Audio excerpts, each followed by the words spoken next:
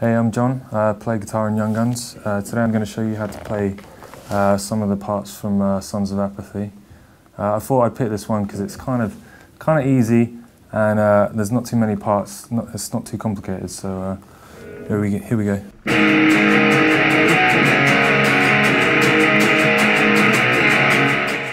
Um, basically, what we tune to is um, quite peculiar. We drop everything down by uh, two full tones, uh, and then we play in like a drop tuning as well.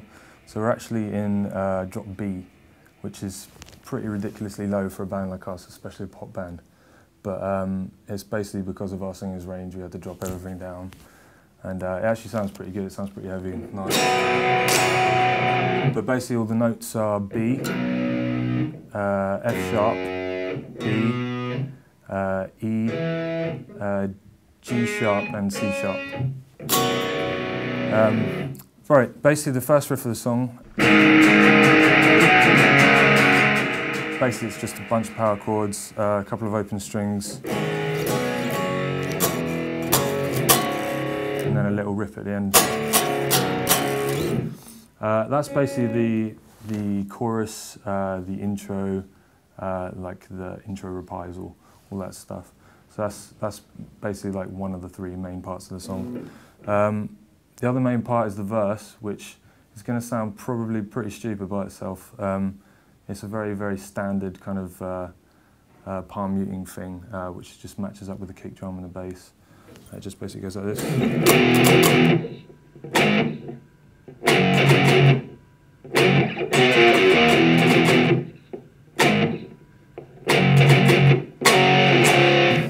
Pretty easy. There's a couple of little licks in there. Uh, the first one is um, just a couple of pull-offs.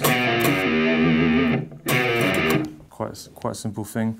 Uh, and the one at the end of the uh, end of the verse, it's just a little slide and a bit of palm muting.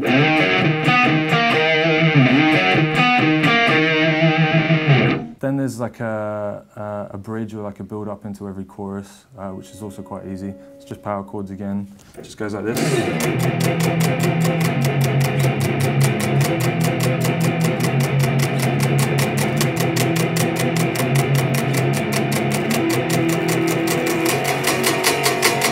And then obviously you're back into the, uh, the intro riff and the chorus riff, which is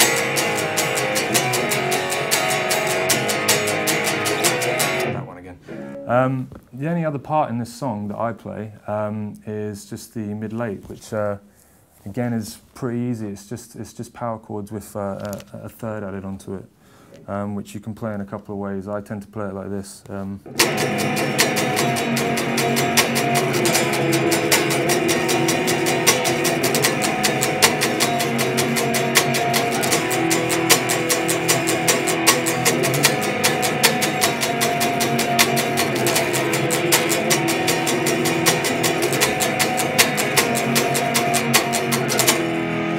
Unfortunately, it can be a bit of a stretch when you're standing up with a strap and you've got to do like five fret stretch. But uh, there's another way you can play it. Swap all your fingers around, play, play the drop note like that, and uh, add, add the third in with your index finger like this.